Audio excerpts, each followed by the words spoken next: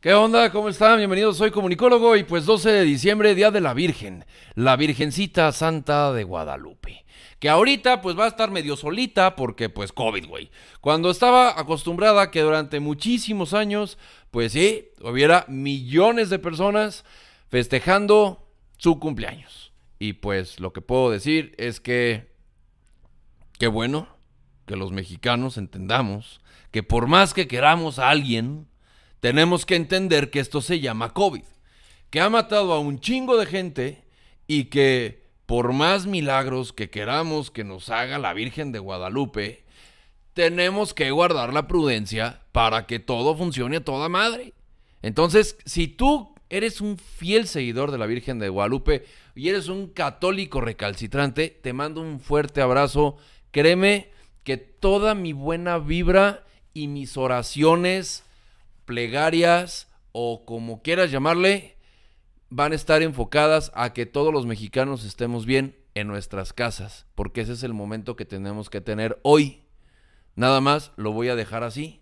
Así que, sin más, empezamos con Soy Comunicólogo, hoy 12 de diciembre, Día de la Virgen de Guadalupe, y pues qué padre que estemos en nuestras casas, sabadito en la noche, y destápate una botellita de vino tinto, porque te voy a platicar unas cositas express para que estés enterado y tengas chismecito para tus reuniones por Zoom.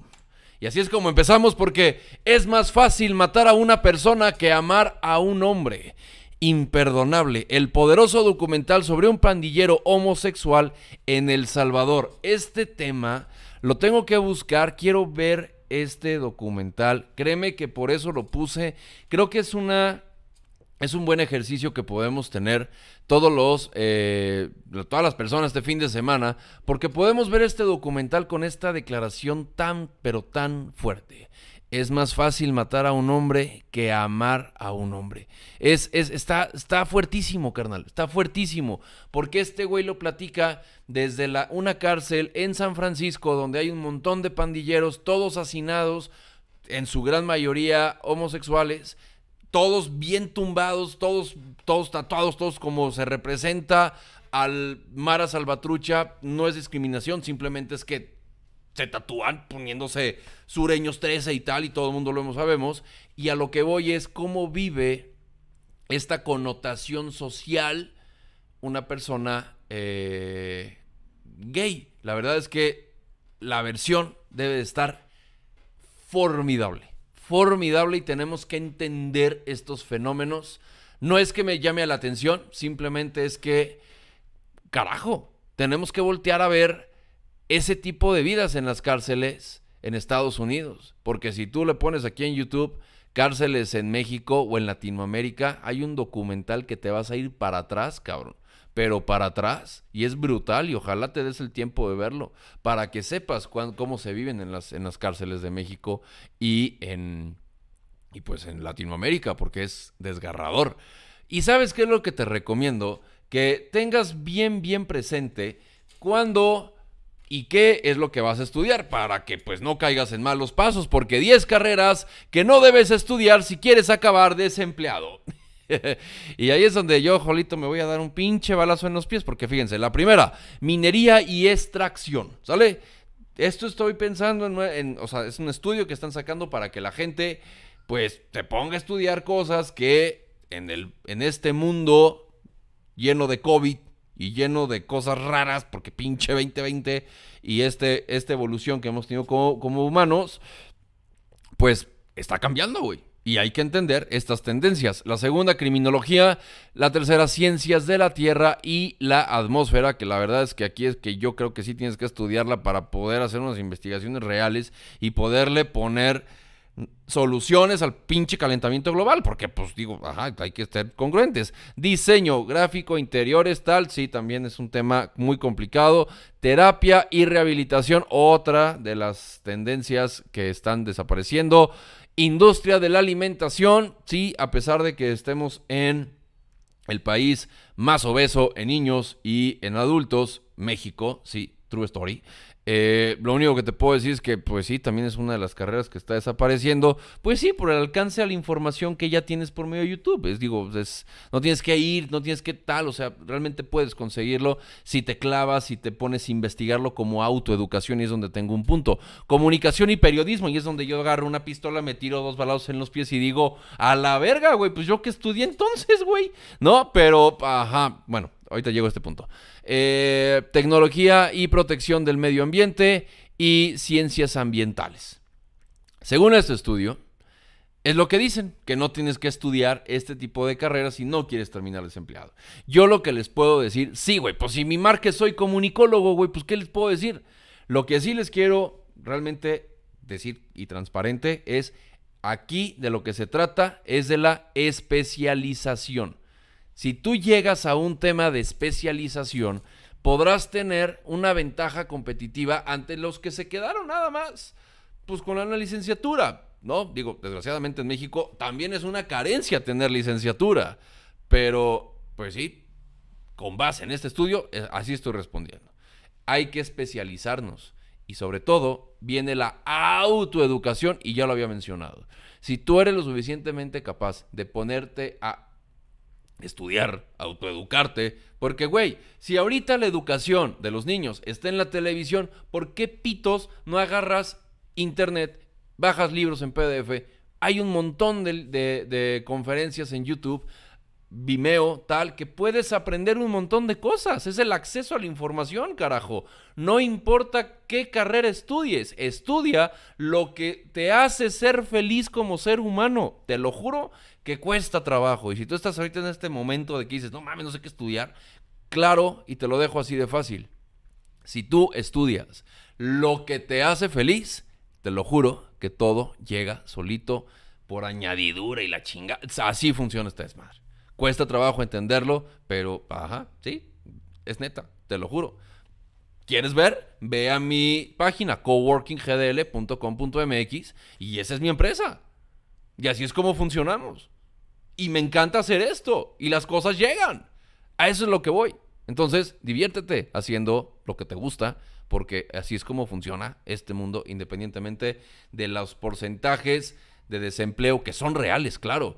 Pero habrá que entender que tenemos que chingarle para ser los mejores o tratar de ser los mejores en lo que estás desarrollando. Por otro lado, y para llegar a ser los mejores, y en temas de comunicación, citando justamente a, temas importantes de comunicación no verbal, el día de ayer, no sé por qué YouTube no, no, me publicó uno de mis videos, pero voy a hacer lo posible para poderlo repostear.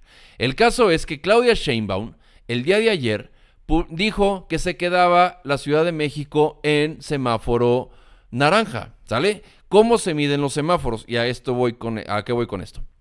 La, la escala de México, de la Ciudad de México, está en 66% de capacidad en sus hospitales, o eso es lo que declaran, cabrón. Cuando escuchas las, las declaraciones del personal médico, pues te das cuenta que es mucho mayor. Pero bueno, según ellos está el 66%. Entonces Claudia Sheinbaum aparece en una declaración diciendo que se quedan en, semáforo naranja, que esto quiere decir que tienen una ocupación menor al 65% y con tendencias a la baja, cuando están completamente al revés, cabrón, ¿no? Esa es una realidad. Ok, pero en comunicación no verbal, Claudia Sheinbaum sale vestida de rojo y con cubrebocas rojo. ¿Sí? Porque acuérdense que Amlito Bebé dice que estamos domando la pandemia desde que empezamos y ya vamos con un chingazo de gente muerta. A lo que voy con esto es, eso es comunicación no verbal, comunicación política y no verbal. ¿Ok? ¿Y qué es lo que pasa hoy? Y aquí es donde viene un tema súper delicado. Viene López Gatel de nuevo, mi tocallito Huguito López Gatel, y dice, respalda alerta en la CDMX, el color del semáforo es hasta cierto punto intrascendente. Es decir, pongo métricas, pero me valen verga. Pongo métricas, pero no les hago caso. Y el señor sigue apareciendo sin cubrebocas. Insisto, el 63% de los muertos en México carecen de secundaria. Entiende eso. Son personas vulnerables a cierta información. Y si ven a personas que son sus líderes Hugo López Gatel o, Amlito Bebé sin cubrebocas, pues les vale verga. No se ponen cubrebocas, se suben al camión y tienes la cantidad de muertos que tenemos hasta ahorita. Eso es lo complicado, que seguimos diciendo que no importa el color, que es intrascendente. Cuando tienes a personas que son sumamente vulnerables a lo que esas personas estén comunicando. No estás entendiendo tu negocio, no estás entendiendo a quién le estás vendiendo, porque estás matando, cabrón, a quien votó por ti, hijo de la chingada. Por otro lado, lo que les puedo decir, la edad promedio de muertos es de COVID-19 es de 55 años. De las personas que siguen jalando, que siguen trabajando, que tienen que sacar a sus familias adelante y que no en toda su gran mayoría tienen educación o que tengan automóvil o que tengan la educación de ponerse el cubrebocas.